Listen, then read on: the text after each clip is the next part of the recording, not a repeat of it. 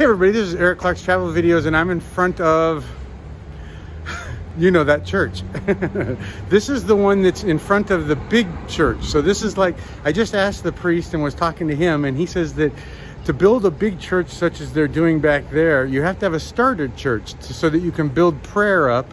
And then he says no work gets done without prayer. And so you pray first and then you build and then you pray and then you build. Um, and that was the priest right there. But uh, anyway, so I'll take you inside. Thank you. And I'll take you inside and show you inside this little church that started the big church. Bye, everybody. Okay, so if I understand things right, to do this big church, you have to start with a little church and and and and then pray and then build up to the big church. And so this is, you know, I guess the kicker, the starter, the the the start of the church. And so I'm going to be quiet, okay?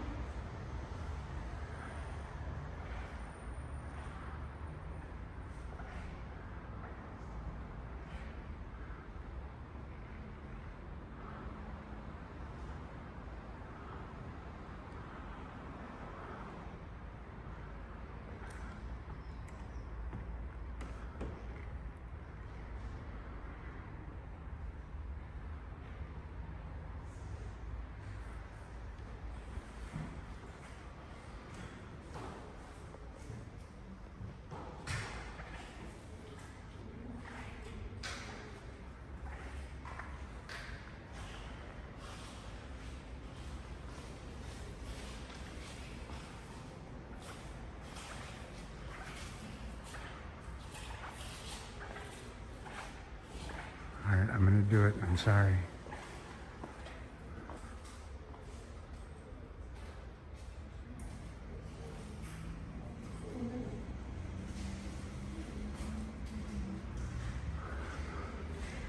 I'm gonna look behind the door.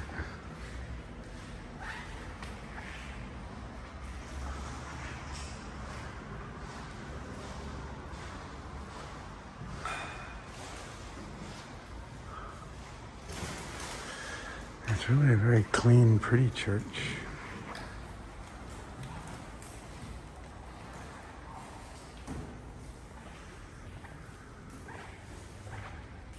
That's interesting. Why do they cover these little pieces here? I mean, why this piece and not the rest of it?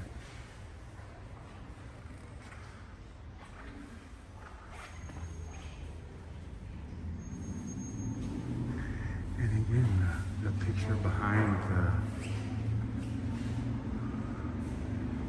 the silver and gold, all of them are that way.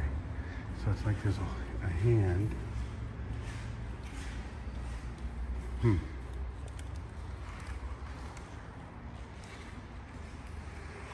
Okay, everybody. Well, it's a cute little church.